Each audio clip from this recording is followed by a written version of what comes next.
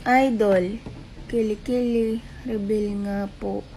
Pwede din sa TikTok. Ay, lagi nang gustong-gustong i-reveal ang kilikili ng mga kababaihan. Diyos ko puro, dahil kato ang gustong-gusto ninyong makita ang mga kilikili namin. Gusto ganin yung makita pati ko yukot.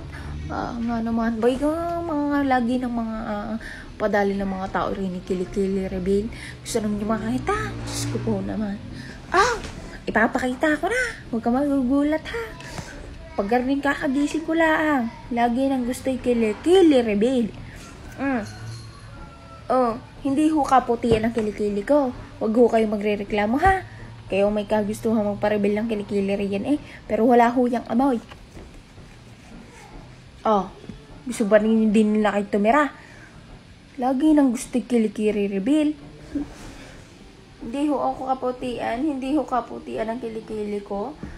At malaki ho ang braso ko. Gusto ninyo sa kapakan. Ako hinaantok pa. Kung niyo akong binabarino agang-aga. Gusto agad ay kilikili rebel. Ah, ah, sabi ko sa inyo, samahan na niya, samahan niyo na lang ho akong magkape at magsuman. Kakain tayo ng suman at kape. Ayan, samahan niyo na lang akong kumain ng suman at magkape. Arihoy gawa pa namin ng mga lula. Kapag daw ho ang suman ay purong natural at walang halong kemikal ay tatayo. Ayan, nakatayo. Hindi, hindi natutumba. Gawa ng puro niyog ho, are. Ano nga? Isasaw nyo yan din eh.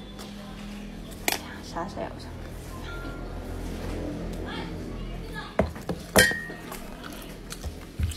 Pampalubag daw buho, are. At ako'y nababal trip sa mga tanungan ninyo.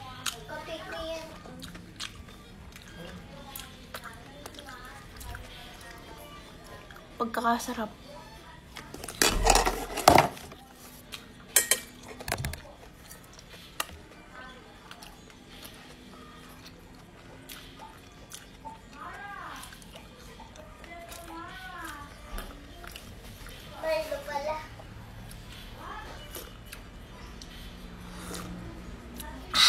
Yung laang.